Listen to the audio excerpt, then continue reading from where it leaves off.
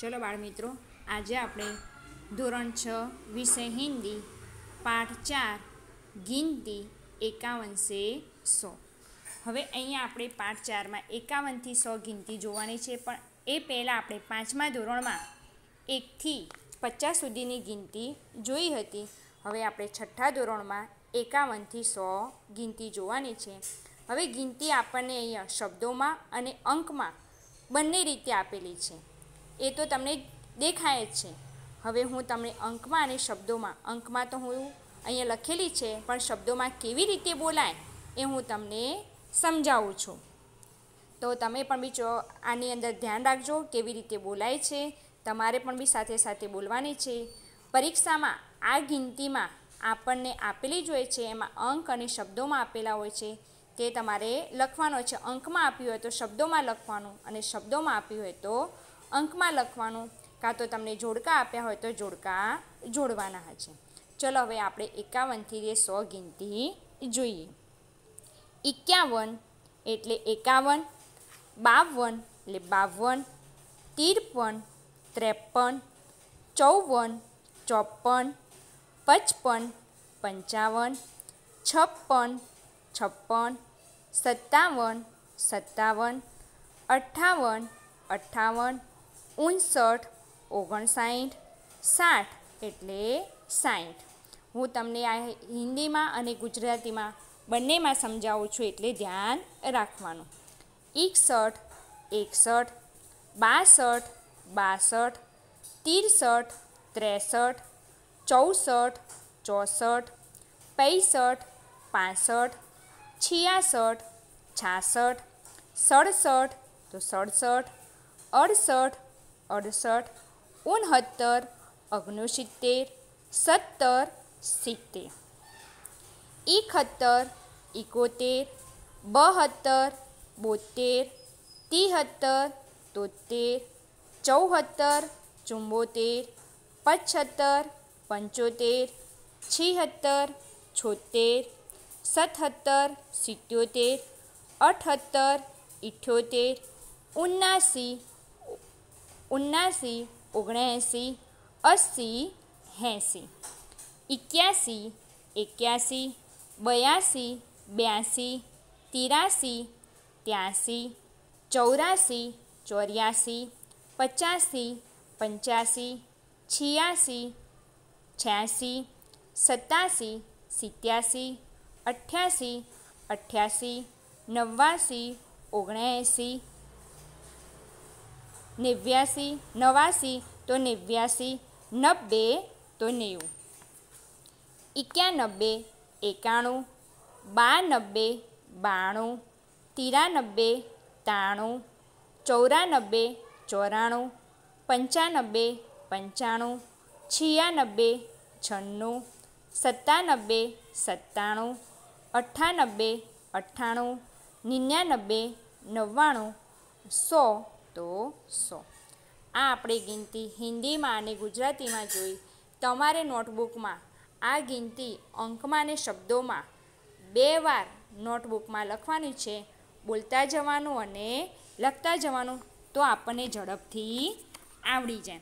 ચલો હવે આપણે જોઈશું સ્વાધ્યાય. સ્વાધ્યાયનો અભ્યાસ કરીશું. અહીંયા તમને આપ્યું છે એક કોષ્ટક બાજુમાં કે ભોલે ભૈયા કો રાસ્તે મેં આને વાલી સંખ્યા કા ઉચ્ચારણ કરાતે હુએ સાયકલ તક પહોંચાઈએ. એટલે જ્યાં તમને રસ્તો દેખાય, એ રસ્તા ઉપર તમારે જવાનું અને એ પૂર્ણ કરવાનું સાયકલ સુધીનું તે આપણને આપ્યું છે. સ્વાધ્યાયમાં પ્રશ્ન નંબર એક. ઉદાહરણ કે અનુસાર જોડે મિલાઈએ. હવે તમે એવું કહેશો, ટીચર, અહીંયા તો કોઈ ઉદાહરણ આપ્યું નથી. ખાલી એમ જ આપ્યું છે. તો આપણે કેવી રીતે કરીશું? તો આપણે જે ગો રાઉન્ડમાં એકાવનથી સો કર્યું, એ આપણા માટે ઉદાહરણ જ હતું. હવે અહીંયા અંકમાં અને શબ્દોમાં આપેલું છે. એ તમને જોવાય છે અને બાજુમાં કોષ્ટક આપ્યું છે. કોષ્ટકમાં તમારે જવાબ લખવાના છે. એ જે આપણે ગો રાઉન્ડ જોયું કે એકાવનથી સો, એમાંથી તમને અંકમાં અને શબ્દોમાં મળી રહેશે. એનો જવાબ તમારે આ કોષ્ટકની અંદર લખવાનો છે. હવે પ્રશ્ન નંબર બે. ગિનતી કો શબ્દો મેં ઓર શબ્દો કો અંક મેં લીખીએ અહીંયા ચાર શબ્દો આપેલા છે. તમને શબ્દોમાં આપ્યું છે. અને બીજા ચાર આપ્યું છે. અંકમાં આપ્યું છે એટલે તમારે શબ્દોમાં લખવાનું છે. એ આપણે એકાવનથી સો મેં તમને જે સમજાવ્યું એ તમારે શોધીને અને જો મોઢે આવડતું હોય તો તમે અંદર લખી શકો છો. જો મોઢે આવડતું હોય તો વધારે સારું, તો તમને પરીક્ષામાં તકલીફ પડશે નહીં. પ્રશ્ન નંબર ત્રણ. કોષ્ટક મેં દિએ ગયે શબ્દો મેં સે. સર્વનામ ચૂનકર. રિક્ત સ્થાનો કે પૂર્તિ કીજીએ. હવે કૌંસમાં આપણને કોષ્ટકની અંદર જે કૌંસ આપી છે, એમાં ખાલી જગ્યાઓના આપી છે. હવે એ ખાલી જગ્યાઓ કયા નંબરમાં આવશે એ તમારે બોલવાની છે. હવે પહેલી ખાલી જગ્યા આપણે જોઈશું. ખાલી જગ્યા ત્રીસ વર્ષ કા હે. હવે કોષ્ટકમાં તમને ખાલી જગ્યા આપેલી છે. એ ખાલી જગ્યા આની અંદર તમારે લખવાની છે. તો ખાલી જગ્યા ત્રીસ વર્ષ કા હે. તો શું શબ્દ આવશે? તો વહ. વહ ત્રીસ વર્ષ કા હે. નંબર બે પતા નહીં, ખાલી જગ્યા દરવાજા ખટખટા રહા હે. હવે અહીંયા તો પ્રશ્નાર્થ જે પાછો પૂછ્યો છે, એટલે તરત તમને આવડી જાય કે પતા નહીં, કોણ દરવાજા ખટખટા રહા હે? પ્રશ્નાર્થ વાક્ય હોય એટલે પ્રશ્નાર્થ વાક્યમાં કયા કયા શબ્દો આવે એ તો તમને ખબર જ છે. નંબર ત્રણ, પુસ્તક રુચિકર હે, ખાલી જગ્યા મેં બી પટુંગી હવે એમાં શું આવશે? ઉસે પુસ્તક રુચિકર હે ઉસે મેં પટુંગી નંબર ચાર ખાલી જગ્યા સબ મિલકર ક્રિકેટ ખેલેંગે તો આ ખાલી જગ્યામાં શું આવશે તો હમ હમ સબ મિલકર ક્રિકેટ ખેલેંગે આપણે બધા સાથે મળીને ક્રિકેટ ખેલીશું નંબર પાંચ रविवार को खाली जगह बाजार जाऊंगा तो रविवार को मैं બાજાર જાઉંગા પ્રશ્ન નંબર ત્રણમાં આપણે જે ખાલી જગ્યાઓ જોઈ, એ ખાલી જગ્યાઓ પણ બી તમારે નોટબુકમાં લખવાની છે. હવે પ્રશ્ન નંબર ચાર, અહીંયા તમને શબ્દો આપ્યા છે, અંકમાં આપ્યા છે. એ તો તમને બધાને અને એની બાજુમાં નાના નાના ટપકા આપ્યા છે, એટલે એકાવનથી સો આપણે જોયું. એ એકાવનથી સો.